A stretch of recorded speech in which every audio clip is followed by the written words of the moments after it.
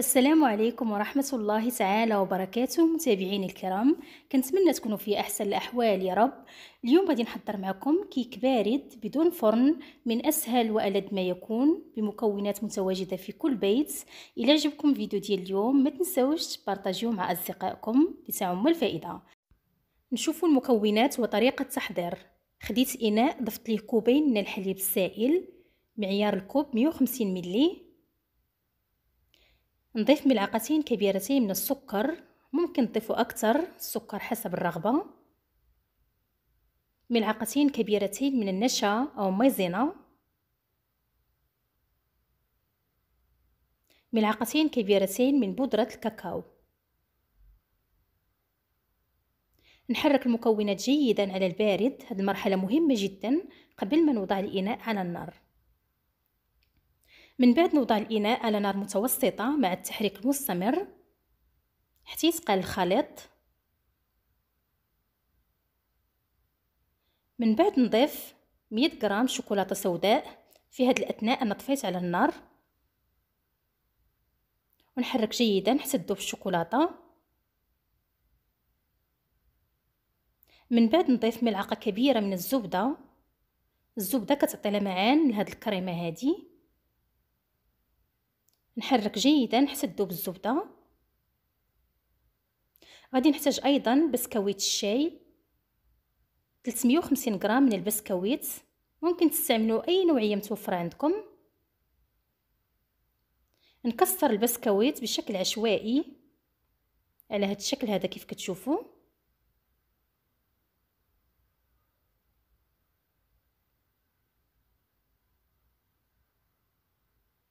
صافي من بعد ما كسرت الكمية اللي عندي كاملة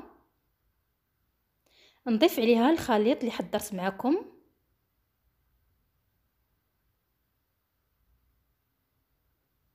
نحاول أنني نخلط جيدا بحيث البسكويت كامل يتلبس بهذاك الخليط أو ديك الكريمة.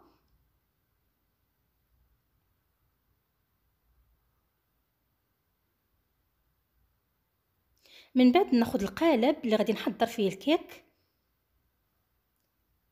أنا اختاريت قالب اللي كيتفتح من الجوانب على هذا الشكل هذا.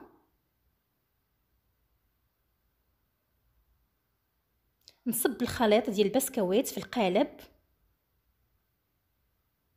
ونضغط عليه جيدا حتى نحصل على طبقة أولى. القياس ديال هذا القالب 24 سنتي.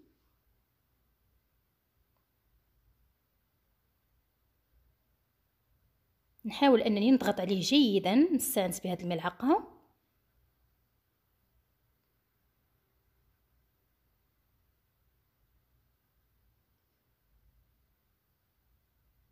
ندخل القالب للثلاجة وندوز باش نحضر معكم الطبقة الثانية. غادي نحتاج في الطبقة الثانية 800 ملل من الحليب السائل تقريبا لتر حليب اللي نقص منه كاس. نضيف عليه ثلاث ملاعق كبيرة من السكر. ممكن تضيفوا أكثر السكر كيبقى حسب الرغبة. نضيف الفانيليا أو السكر الفاني ما يعادل سبعة فاصلة خمسة غرام ثلاث ملاعق كبيرة من الدقيق الأبيض.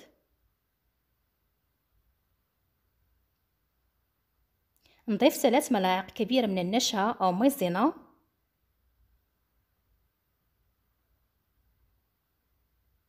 نخلط المكونات جيدا على البارد. هذه المرحلة مهمة جدا قبل ما نوضع الإناء على النار. من بعد نوضع الإناء على نار تكون متوسطة مع التحريك المستمر حتى يتقل الخليط. حتى نحصلوا على خليط كريمي.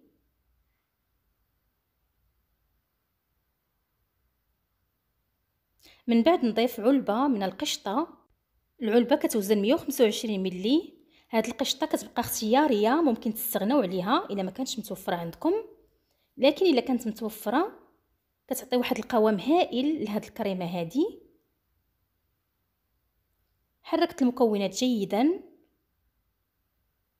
من بعد نضيف ملعقة كبيرة من الزبدة.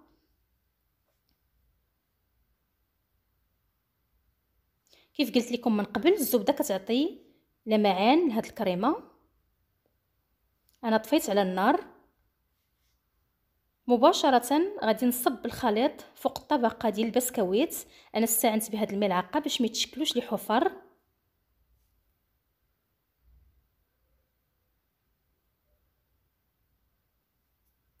صبيت الخليط على شكل طبقة ثانية.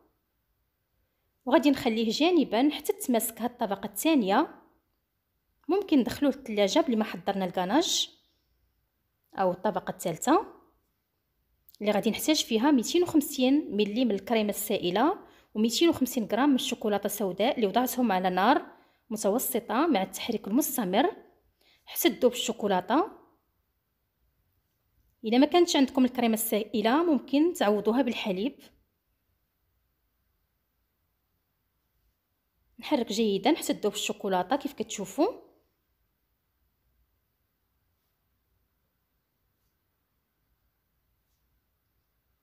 نضيف ملعقة كبيرة من الزبدة.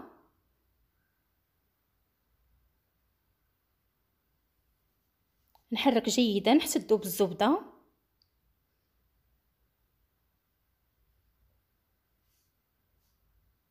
ونضيف قطرات من الفانيليا السائلة. نحرك جيدا. أنا طفيت على النار. مباشرة غادي نصب الخليط فوق الطبقة الثانية اللي تماسكت ونوزعو بالملعقة حتى نحصل على طبقة ثالثة. على هذا الشكل هذا. من بعد ندخل القالب للثلاجة لمدة أربع ساعات حتى يبرد الكيك ونعود نرجع معكم. هذا هو الشكل ديال الكيك. من بعد ما خرجته من الثلاجة زولته من القالب غادي نقطعو قدامكم. كيجي الشكل ديالو على شكل ثلاث طبقات. كيك من أسهل وألذ ما يكون. مكونات بسيطة متواجدة في كل بيت.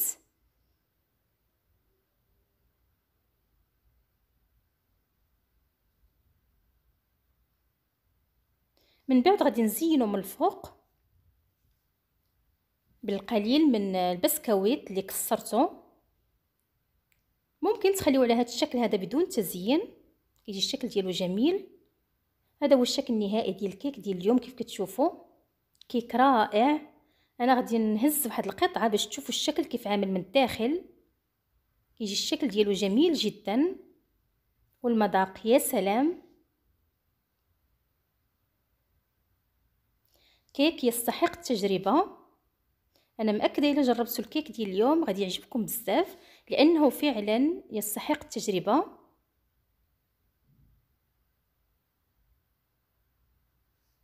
مذاق لا يقاوم. إلى عجبكم الفيديو ديال اليوم ما تنساوش تعملوا اشتراك للقناة ديالي وتضغطوا على الجرس باش يوصلكم الجديد ديالي وتبارطاجيو مع أصدقائكم لتعم الفائدة. وإلى اللقاء في فيديو آخر بإذن الله.